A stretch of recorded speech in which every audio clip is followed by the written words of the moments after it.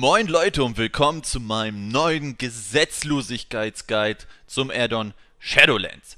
Bevor wir anfangen, sei wie immer gesagt, es handelt sich hierbei um meinen eigenen persönlichen Guide, der definitiv von anderen Videos oder Forumbeiträgen abweichen wird, da es sich hierbei um meinen eigenen persönlichen Guide handelt.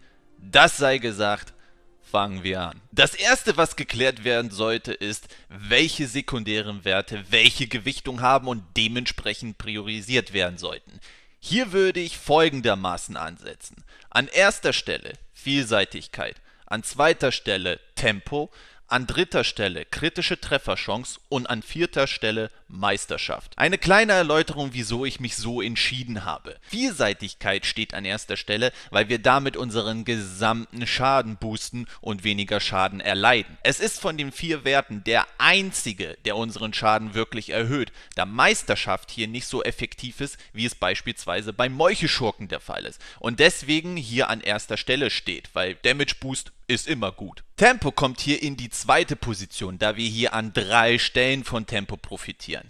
Erstens erhöht sich unsere Energieregeneration dadurch. Zweitens haben wir durch mehr Tempo einen schnelleren Attack Speed. Und drittens, durch den schnelleren Attack Speed haben wir häufiger die Chance, die passive Fähigkeit Kampfkraft auszulösen, wo immer eine 75-prozentige Chance besteht, wenn unsere Schildhand Schaden verursacht, 10 Energie zurückzubekommen, wodurch unser Energiemanagement noch besser wird. Man sollte aber fairerweise sagen, dass, sofern man viel Tempo schon besitzt, man auch auf Tempo verzichten kann und damit auf kritische Trefferchance gehen kann, wenn man sich zwischen den beiden entscheiden muss. Heißt also, man muss sich nicht immer strikt daran halten, sondern kann ab einem gewissen Wert auch hin und wieder darauf verzichten zugunsten von kritische Trefferchance. Zum Beispiel, wenn man über mehr als 20% hat als Richtlinie. An dritter Stelle steht kritische Trefferchance. Ich denke mal, dazu muss man nicht wirklich viel sagen. Erhöht halt die Chance, dass unsere Fähigkeiten kritischen Schaden verursachen, was immer gut ist. Und, wie vorher schon erwähnt, auch mal bevorzugt werden kann, wenn man sehr wenig davon hat. Und an letzter Stelle steht Meisterschaft. Die sorgt dafür, dass der Schaden von Mengusche steigt. Mengusche ist so gesehen eine passive Fähigkeit, denn immer wenn wir mit der Haupthand zuschlagen, besteht eine Chance von 30%, dass wir einen zusätzlichen Schlag mit der Schildhand ausführen, der abhängig von der Meisterschaft Schaden verursacht. Leider ist diese Mechanik super, super schwach, da 30% einfach viel zu wenig ist und somit es sich nicht wirklich lohnt, in Meisterschaft zu investieren. Ich hoffe wirklich in Zukunft, dass Blizzard irgendwas daran macht, weil es eigentlich eine coole Idee und auch eine coole Mechanik ist, die lediglich Feinschliff oder eine komplette Erneuerung bräuchte, um wirklich relevant zu sein. Kommen wir nun zu den Talenten und wieso wir uns dafür entschieden haben. In der ersten Reihe haben wir uns für Pistolen Hate entschieden. Denn immer wenn wir mit finsterer Stoß zuschlagen, besteht eine Chance von 35%, dass finsterer Stoß sich nochmal aktiviert und dass unser nächster Pistolenschuss die Hälfte unserer Energie kostet und doppelten Schaden verursacht. Durch Pistolenheld wird dadurch nochmal der Schaden um 50% erhöht und gibt uns zwei Kombopunkte statt nur einen. Das ist mit Abstand das beste Talent, was ihr hier in der ersten Reihe wählen könnt. Da Waffenmeister leider keine gute gute Alternative ist und mit 10% einfach zu wenig ist, da dadurch die Chance auf einen zusätzlichen Schlag vom finsterer Stoß auf 45% steigt was nicht wirklich viel ist. Die einzige solide Alternative ist geisterhafter Stoß, aber auch nur dann, wenn ihr mehr auf Single-Target-Damage gehen wollt. Da für mich Gesetzlosigkeit ein Meister des AOE-Schadens ist, ist Pistolenheld von den beiden Talenten die bessere Wahl. Kommen wir zur zweiten Talentreihe. Hier habe ich mich für akrobatische Attacken entschieden. Das sorgt dafür, dass alle Angriffe und Fähigkeiten, die aus der Nahkampfreichweite benutzt werden müssen, jetzt auch von drei Meter weiter genutzt werden können. Das ist ein wirklich schönes Talent und sehr hilfreich in Mythisch Plus oder Raid, denn wenn irgendwo Pfützen oder so liegen und man am Boss nicht so leicht rankommt, hat man einfach drei Meter mehr Reichweite und kann weiterhin gut Schaden machen und besser am Boss rankommen. Für alle die, die sich nicht wirklich vorstellen können, wie viel Reichweite das jetzt wirklich ist, habe ich zwei Screenshots vorbereitet. Oben seht ihr die Reichweite zum Trainingsdummy mit dem Talent akrobatische Attacken und unten ohne das Talent. Auf die Screenshot kann man erkennen, dass diese 3 Meter wirklich schon noch einen ganz großen Vorteil haben, wenn man es benutzt. Und seien wir mal ehrlich, dieses Talent hilft euch im Kampf deutlich mehr als die zwei anderen Alternativen, die ihr dort habt. Deswegen habe ich mich dafür entschieden. Bei der dritten Talentreihe hat man Raum zum Experimentieren. Ich persönlich habe mich aber für Lebenskraft entschieden, was unsere Energieregeneration um 10% erhöht und wir allgemein 50 Punkte mehr Energie haben. Das sollte uns helfen, die Rotation stabil zu halten und weniger in Situationen zu kommen, wo wir warten müssen, bis wir genug Energie haben, um sie in unsere Fähigkeiten zu investieren. Eine wirklich gute Alternative ist hier auch Todesurteil, weswegen ich auch sagte, dass man auch Raum zum Experimentieren profitieren hat. Da wir dadurch sofort 5 Kombopunkte am Gegner verursachen und wir ihn schnell ausschalten, sofort die Fähigkeit wieder zur Verfügung haben, um sie gegen einen weiteren einzusetzen. Damit kann man eine schöne Rotation erschaffen, da wir sofort 5 Kombopunkte bekommen, sie sofort für Schaden nutzen können und wenn wir schlau sind, sie so einsetzen, dass der Gegner kurz vorm Sterben ist und somit sofort wieder die Fähigkeit zur Verfügung haben und somit das Spiel weiter fortsetzen können, was zu einer wirklich coolen Mechanik führt. Einziger Nachteil ist, dass es uns bei Bosskämpfen nicht so stark hilft, wie Lebenskraft. Deswegen liegt es an euch, ob ihr gerne eine sichere und stabilere Rotation haben wollt oder ihr eher einen etwas aggressiveren Modus spielen wollt. Beides ist eine total solide Wahl und liegt an euch, wie ihr spielen wollt. Kommen wir nun zur vierten Talentreihe. Hier habe ich mich für von der Schippe springen entschieden. Für welches Talent ihr euch entscheidet, liegt an euch, da alle drei Optionen eine gute Alternative sind. Eiserner Magen ist ein tolles Talent, wenn ihr im PvP-Bereich spielt und Flüchtigkeit wird auch sehr häufig im PvP-Bereich genutzt. Von der Schippe springen hilft einfach, nicht gleich direkt zu sterben, wenn man bei Bossen eine Mechanik verpennt hat, die einen sonst umbringen würde und somit eine zweite Chance hat. Weswegen ich mich auch dafür entschieden habe. Kommen wir zur fünften Talentreihe. Hier habe ich mich für die schwachen Ausbeuten entschieden. Das sorgt dafür, dass wenn wir Gegner stunnen, er 10% mehr Schaden aus allen Quellen bekommt für 6 Sekunden. Ist meiner Meinung nach das das beste Talent, was man hier aussuchen kann, weil man dadurch schneller durch Trash-Gruppen kommt und durch dieses passive Talent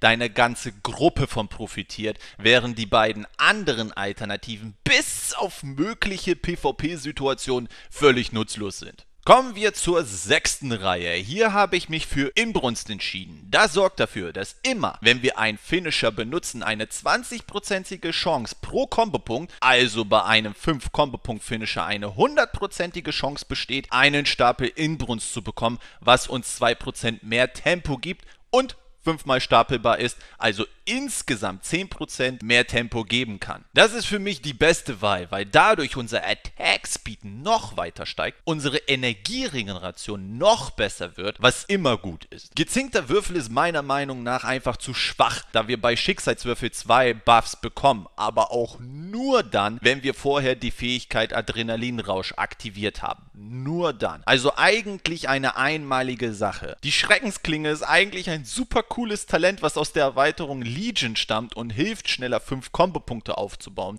wofür wir aber Leben opfern müssen. Da wir aber eigentlich keine wirklichen Probleme haben, schnell 5 Kombopunkte aufzubauen, empfiehlt sich nicht dieses Talent zu nutzen, weswegen ich mich dann auch dementsprechend für Inbrunst entschieden habe. Kommen wir nun endlich zur letzten Talentreihe, wo ich mich für Mordlust entschieden habe. Das ist eine Fähigkeit, die auf einen Gegner springt und schweren Schaden verursacht, Zusätzlich, wenn wir bei der Fähigkeit Klingenwirbel aktiv haben, werden vier weitere Ziele von Mordlust getroffen und erleiden 100% Schaden davon. Ich habe mich für dieses Talent entschieden, da immer wenn man in Situationen kommt, wo man wenig Energie hat, man einfach die Fähigkeit einsetzen kann, weiterhin großen Schaden verursacht und währenddessen sich die Energie bis dahin erholt und man somit eine Möglichkeit hat, eine Situation zu umgehen, wo man wartet, bis man wieder Energie hat. Eine Alternative zu Mordlust ist Klingen am Sturm. Das Tolle an dieser Fähigkeit ist, dass man im Verlauf von 5 Sekunden 25 Energie zurückbekommt und damit schnell wieder Energie zurückbekommt. Der einzige Unterschied ist, dass Klingenansturm nicht so viel Schaden verursacht wie Mordlust. Zudem, und das ist meine eigene Meinung dazu, erreicht man mit Mordlust dasselbe wie mit Klingenansturm und verursacht noch mehr Schaden. Denn wie gesagt, sobald man Mordlust aktiviert, kann man in der Zeit keine anderen Fähigkeiten nutzen benutzen und kann somit seine Energie von alleine erholen lassen, während man guten Schaden macht. Während Klingenansturm aktiv noch dabei hilft, Energie zurückzubekommen. Beides ist eine gute Wahl, keine Frage. Ich persönlich bevorzuge aus dieser Logik aber eher Mordlust. Bevor wir zur Rotation kommen, müssen natürlich zwei weitere Dinge geklärt werden. Das eine wäre, welche Legendaries man benutzen sollte und das andere wäre natürlich, welchen Pakt man sich anschließen sollte. Zum Thema Legendary werde ich hier drei Stück vorstellen, da Blizzard gesagt hatte, man wird in der Zukunft mehr als einen tragen können. Und sofern diese bis dahin nicht genervt werden oder bessere dazukommen, kann ich euch für die Zukunft gleich die nächsten Legendaries weiterempfehlen. Das erste Legendary, was ich auch aktuell trage und dementsprechend auch empfehle, fehlen würde, ist Schnelligkeit. Das sorgt dafür, dass immer, wenn Adrenalinrausch aktiv ist, wir 8% mehr Schaden verursachen und wenn Zerhexen aktiv ist, immer eine Chance besteht, Adrenalinrausch nochmal für 3 Sekunden zu bekommen. Für mich ist das mit Abstand das beste Legendary. Nicht wegen den 8% mehr Schaden, was auch schön ist, sondern wegen dem Fakt, dass man auch immer wieder mal die Chance hat, die Fähigkeit für 3 Sekunden zu bekommen. Es ist zwar ein bisschen random, wann es sich halt aktiviert, hilft aber ungemein in gewissen Abständen die Energieregeneration zu steigern und somit unsere Rotation stabiler zu halten. Außerdem benutzt man sehr häufig Adrenalinrausch, mehr als einmal in einem Bosskampf, womit der Nutzen einfach höher ist. Die zweite Wahl wäre für mich mal des Meisterassassinen, was dafür sorgt, dass wenn wir aus der Verstohlenheit rauskommen, alles, was wir in vier Sekunden an Schaden und Fähigkeiten einsetzen, ein garantierter kritischer Treffer ist. Zusätzlich, und das macht es meiner Meinung nach zu der zweitbesten Wahl, wird man sehr häufig dazu kommen, mit Verschwinden die Fähigkeit neu auszulösen, womit wir immer mal wieder garantierten kritischen Schaden verursachen. Der einzige Grund, warum es bei mir nicht an erster Stelle steht, ist, weil man nur vier Sekunden hat. Das ist nicht wirklich viel Zeit und da hat man mit Schnelligkeit eine gewisse Konstante, die man mit diesen Legendary halt nicht hat. Das letzte Legendary, was ich empfehlen kann, worauf ich aber nicht mehr so stark eingehen werde, weil es unwahrscheinlich ist, dass wir drei Legendaries tragen werden, ist noch die verborgene Donnerbüchse. Wenn man irgendwann drei Legendaries tragen sollte, würde ich mich für diese entscheiden und diese Reihenfolge einhalten. Kommen wir zum letzten Punkt und zwar den. Man sollte dazu sagen, dass die Schurken wirklich ganz großes Glück haben, was Pakte angeht, denn damage-technisch liegen alle vier Pakte nah beieinander und es spielt von Damage her kaum eine Rolle, welche Pakt ihr euch anschließt, da alle gleich gut sind. Ich habe mich der Nachtfee angeschlossen, da sie meiner Meinung nach das rundeste Paket an Fähigkeiten und Seelenbanden haben und somit für jeden was dabei ist. Selbst ist es vor allem ein guter Single-Target-Schaden, die je nachdem einen zusätzlichen Nutzen Nutzen hat, indem wir entweder eine Fähigkeit aus der Verstohlenheit einsetzen können oder die Ablinkzeit der Fähigkeit verringert wird. Gerade die Kombination mit einem Medium, namentlich Chancenberechnung, macht diese Fähigkeit ziemlich cool. Apropos Medium, kommen wir zu den Seelenbanden. Solltet ihr euch der Nachtfee anschließen, würde ich ein Seelenband mit Corin eingehen. Aber auch nur, wenn ihr mehr AOE-Schaden machen wollt. Wenn ihr aber mehr Single-Target-Damage machen wollt, was gerade bei Bossen immer gut ist, dann empfehle ich euch ein Band mit Nia einzugehen. Ich persönlich spiele sehr häufig eher mit Nia, da man eine gute Balance zwischen AOE und Single-Target-Damage hat. Zum Abschluss kommen wir zu den Medien, die benutzt werden sollten. Ich empfehle hier ganz klar Chancenberechnung, was dafür sorgt, dass immer, wenn wir Hinterhalt oder Tötung einsetzen, eine Chance besteht, einen Buff von den Schicksalswürfeln zu bekommen. Das Coole an diesem Medium ist, wenn wir aus der Verstohlenheit zum Beispiel Hinterhalt einsetzen, ist die Chance und Dauer verdreifacht, was dieses Medium zu einem Must-Have macht. Solltet ihr nicht zu den Nachtfee gehören und könnt noch einen weiteren Schadensmedium nutzen, dann würde ich hier noch ganz klar Fingerfertigkeit einsetzen, da dadurch die Chance höher ist, mehr als einen Buff von dem Würfel zu bekommen. Welche restlichen Medien ihr benutzt, liegt an euch, weil das wirklich sehr situativ ist und davon abhängt, wie ihr spielt und aber keinen so großen Einfluss auf den Damage mehr hat. Kommen wir nun endlich zur Rotation. Wir werden hier zwei Varianten zeigen, einmal als Single Target und einmal, wenn man gegen mehrere Gegner kämpft. Kommen wir erstmal zum Single Target. und es funktioniert wie folgt. Ausgangspunkt ist die Verstohlenheit. Wir benutzen erstmal die Schicksalswürfel, greifen mit Hinterhalt an, setzen dann die Nachtfähigkeit Sepsis ein, bauen 5 Kombopunkte auf, benutzen dann Zerhexeln, aktivieren danach Adrenalinrausch, bauen 5 Kombopunkte auf und setzen zwischen die Augen ein. Ab hier bauen wir 5 Kombopunkte auf und setzen Tötung ein. Sollte sich im Verlauf Pistolenschuss durch finsterer Stoß aktivieren, setzen wir die Fähigkeit aktiv ein, um 5 Kombopunkte aufzubauen. Außerdem sollte man, sobald verfügbar, Verschwinden benutzen, um mit Hinterhalt zuzuschlagen. Wenn Sepsis abläuft und wir dadurch eine Verstohlenheitsfähigkeit zur Verfügung haben, benutzen wir noch einmal Hinterhalt. Wenn ihr im Kampf merkt, dass eure Energie zu langsam regeneriert und ihr gerade zu wenig habt, setzt ihr Mordlust ein. Sobald Zerhexen ablaufen sollte, bauen wir wieder 5 Kombopunkte auf und setzen sie wieder ein. Dasselbe gilt auch für Schicksalswürfel. Wenn sie ablaufen sollten, setzen wir sie wieder ein, um diese zwei Buffs aktiv zu halten. Ab hier ist es alles sehr situativ. Wenn zwischen die Augen wieder aktiv ist, setzen wir sie wieder ein. Kann man Adrenalinrausch wieder einsetzen, setzen wir die Fähigkeit aktiv wieder ein. Sollte Verschwinden wieder bereit sein, setzen wir sie wieder ein, um Hinterhalt zu nutzen.